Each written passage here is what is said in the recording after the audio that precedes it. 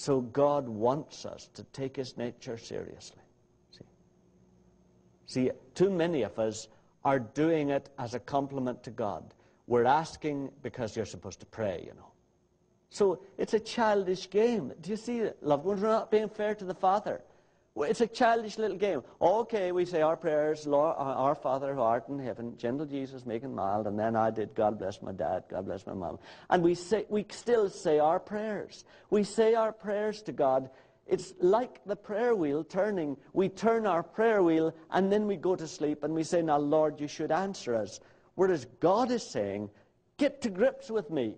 I have said I am such and such. Do you believe me to be such and such? If I'm not proving such and such to you, you have a right to charge me with that. Come, let us interact with each other. Let us put our arms around each other. You deal with me as a living, real, live God who is your Father, and stop playing games with me. See, that's what he wants.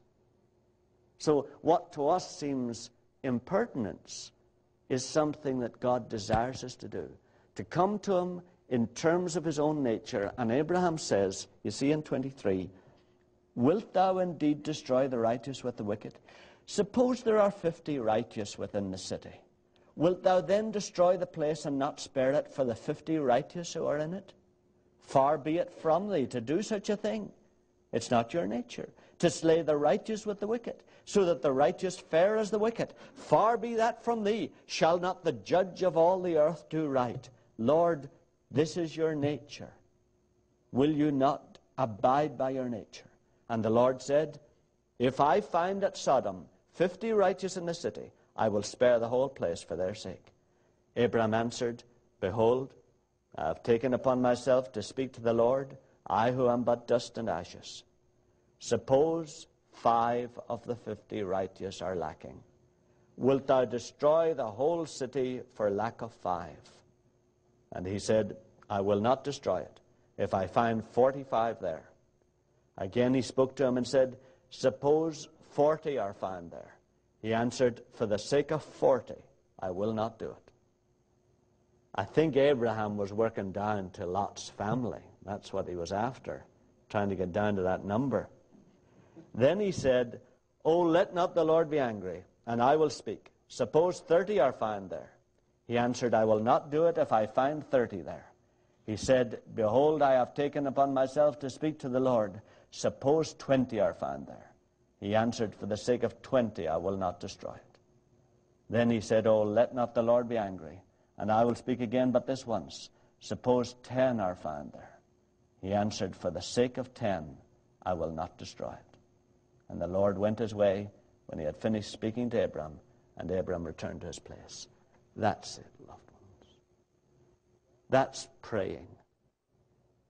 God wants us to plead with Him importunately, repeatedly, continuously for these impossible problems that we face.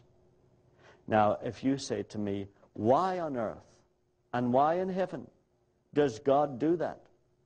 Why does He not answer us immediately? Why does He require us to keep on asking? Well, there are all kinds of reasons. Usually it's because there's something in your attitude that God is trying to remove before He is able to change that other person's life. Usually it's that. Usually it's something in our attitude. Sometimes it's for other reasons. It's to bring us more into His own nature. For instance, the host did everything he could. I mean, he went and he thought, now, the stores are closed. I can't get any food from there. There's no other way I can do this. The only way is to go to this neighbor of mine. In other words, he tried everything else. And there was nothing else he could do but go to this neighbor. Often God is trying to bring us to that place. Often we're praying, Lord, will you heal this person? Father, will you make their marriage better?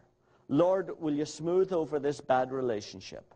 And what God is trying to do is to get us away from all those other alternatives and get us to pray that this person will be confronted by God firmly and strongly and will see that the only thing is to give their whole life to God.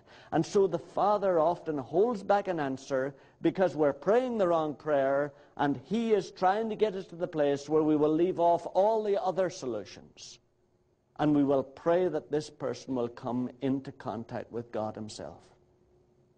This host had tried everything else and then came to God.